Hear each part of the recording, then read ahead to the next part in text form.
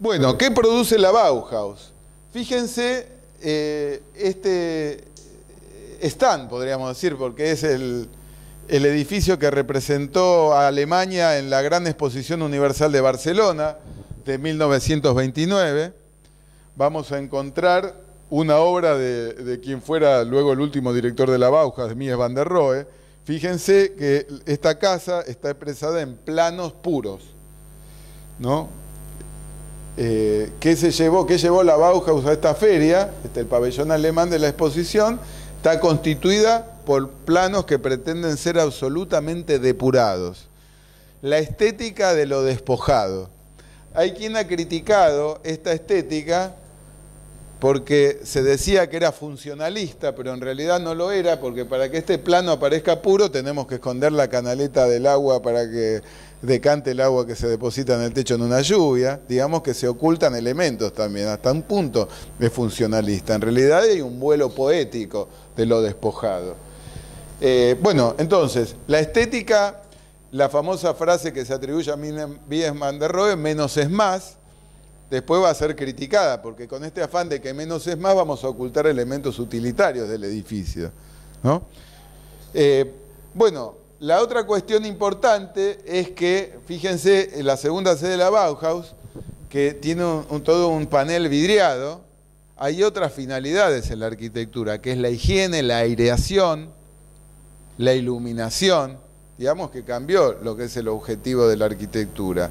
La decoración va a pasar, a, ser una cuestión superflua, ¿no es cierto?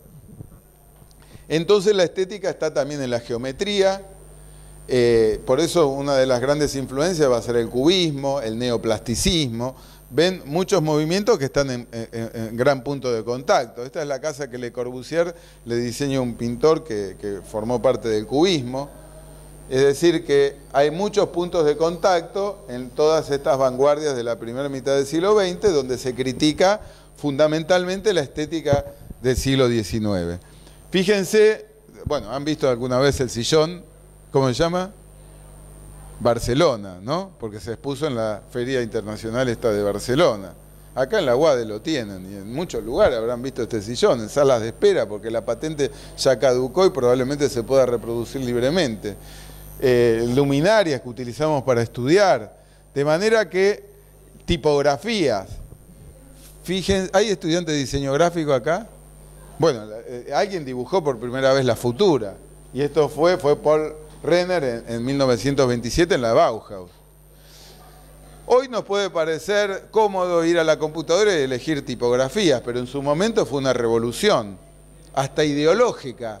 Hasta podemos hacer una, una expresión ideológica en el diseño de una tipografía, porque esta afán de síntesis se va a oponer, fíjense la estética nazi de la época, que era utilizar la tipografía gótica típica de Alemania, ¿no? De la traducción de la Biblia de Lutero. Entonces acá hay un desafío ya al poder constituido. Y tiene más que ver con el lenguaje de la modernidad. Esto ya pasaba a ser como lo viejo, ¿no es cierto? La Bauhaus también es otra tipografía que lleva el nombre de la misma institución. De manera tal que esta escuela de arte y diseño le debemos mucho, ¿no? Mucho hasta la actualidad.